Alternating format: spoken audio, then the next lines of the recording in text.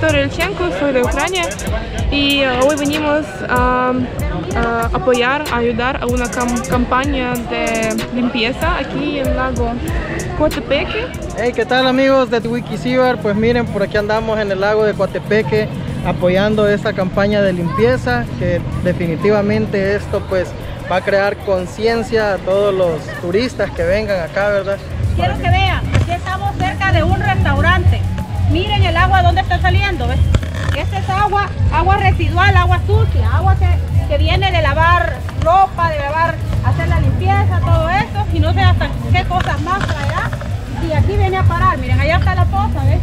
Y es eso, con un poquito de lluvia y un poquito de olas, esa agua se va al lago.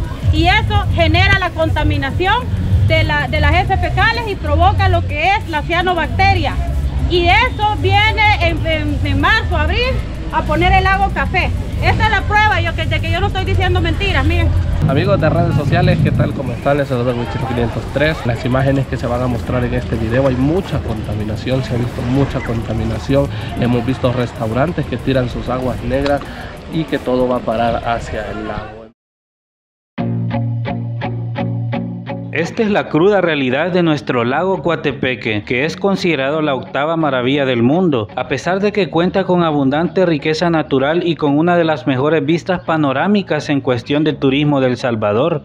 En los últimos años sus aguas verdes se transforman en turquesa. Es un fenómeno que llama la atención de quienes viven en sus alrededores y atraen a muchos visitantes. Sin embargo, este atractivo turístico se ve empañado por la alta contaminación que desde hace años enfrenta el lago, generada por las aguas residuales de restaurantes exclusivos, ranchos privados, clubes y de las propias comunidades. Ambientalistas y diferentes organizaciones han tomado la iniciativa en llevar a cabo diferentes campañas de limpieza. Betty Arana es una abogada y protectora del medio ambiente que a través del movimiento Salvemos Lago Coatepeque impulsa esta actividad a la cual fuimos invitados el pasado fin de semana para conocer de primera mano los problemas de contaminación que enfrenta el lago y cómo esto afecta a sus lugareños. Esta campaña va para eso, va para concientizar a la población, tanto a la que vive aquí como a la que, a la que nos visita, a limpiar y a cuidar de nuestro lago, porque esto es nuestro orgullo, nuestra octava maravilla del mundo.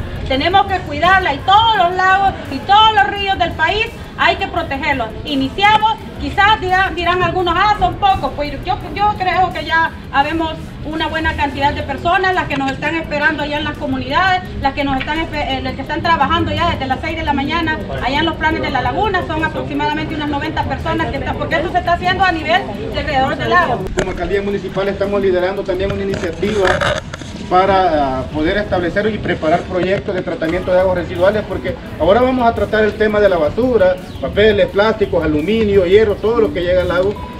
Pero también tenemos el otro problema de las aguas, ¿verdad? Igual eh, hacerle un llamado a todas las instituciones involucradas o que tienen la responsabilidad de velar por la, por la problemática de esta zona. Tenemos un lago, pero la- las personas que viven alrededor tampoco tienen agua potable. Es un problema histórico. Nadie tiene agua potable acá en el lago. Coatepeque, al ser de origen volcánico, tiene una alta cantidad de sales, pero sus aguas también están perdiendo calidad por la contaminación que está llegando al lago. Según datos del pasado marzo del 2021, el agua ya no puede ser consumida ni siquiera por animales. Esto es malísimo para nuestros pececitos, ¿ves? Corcholatas con lodo sucio, es parece de que es li- li- lixiviado.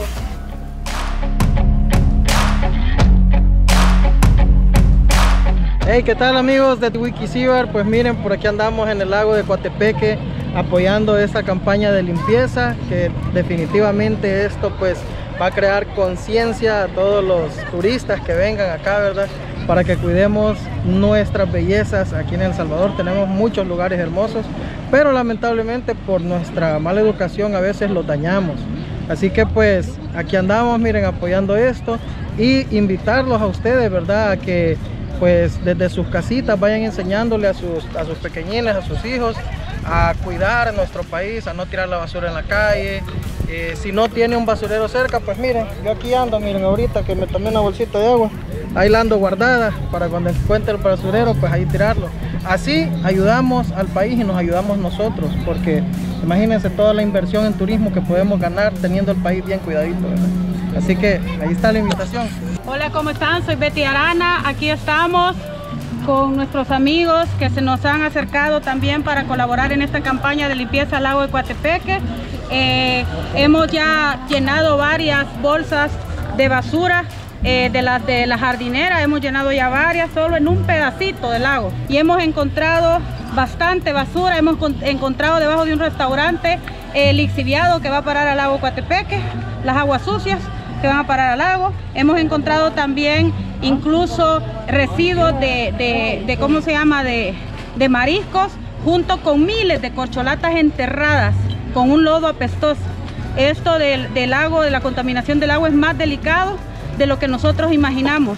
Ahora lo estamos comprobando, incluso me he dado sorpresas porque yo no contaba con ver ese, ese, ese rillito que va a parar al lago de agua sucia y eso es lo que hace también que las cianobacterias se propaguen y veamos ese lago café feo los días de febrero, marzo y abril. Amigos de redes sociales, ¿qué tal? ¿Cómo están? Les saluda 503. Nos encontramos acá en el lago de Coatepeque realizando esta mega campaña de limpieza. Es primera vez que se hace bueno, que yo participo, no sé si acá ya lo han hecho, me imagino que sí, pero que nosotros participamos en el proyecto Salvemos el Lago de Coatepeque. En las imágenes que se van a mostrar en este video hay mucha contaminación, se ha visto mucha contaminación, hemos visto restaurantes que tiran sus aguas negras y que todo va a parar hacia el lago. En verdad le hacemos el llamado a la población también en general. Hemos tenido esa mala costumbre de que cuando nos comemos algo lo tiramos a la calle, cuando nos comemos un chicle, una gaseosa o algo, lo tiramos a la calle, una mala mala costumbre que nosotros tenemos, lo vamos a decir así, es crudo, es decirlo así, pero se, se oye un poquito fuerte, pero así es la realidad que estamos viviendo y hacerle el llamado a los padres de familia que con los niños también les enseñen ya desde casa. Yo en mi caso, en mi, casa, ya le enseño el ejemplo a mi niño, siempre cargo o me las echo acá o las tiro en el baúl de mi vehículo y así andamos ya para evitarnos esas malas prácticas que por años hemos tenido. El lago de Coatepec, esta perla hermosa que la podemos catalogar nosotros los salvadoreños como la octava maravilla es un lago muy hermoso del cual se benefician muchas personas. Hay muchas personas, hay muchos niños que consumen esta agua. No hay otra alternativa que consumir de esta agua. El agua acá ahorita se encuentra como que le hayan echado colorante verde. No te podría decir que es, pero se ve como que alguien haya agarrado colorante verde y lo haya tirado.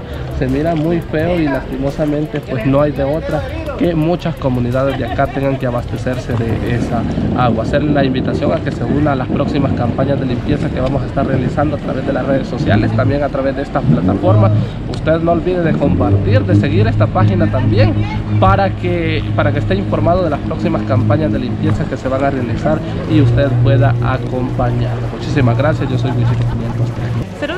Me llamo Victoria Elchenko, soy de Ucrania y uh, hoy venimos a apoyar, ayudar a una campaña de limpieza aquí en el lago Coatepeque y hay muchas personas que apoyan esta campaña. Estoy muy feliz que aquí en El Salvador hacen esto porque es problema no solo de El Salvador, de verdad, problema en todo el mundo. Espero que pronto mucha gente van a acompañarnos en proyectos futuros sobre la limpieza y Salvador va a estar mucho más limpio y así mucho más bello. Ya es muy bello, pero va a estar mucho mejor. Así que acompáñanos, por favor. La situación es crítica y preocupante. La comunidad es consciente que si no se presionan a las instituciones, la vida en el lago será insostenible en solo unas décadas.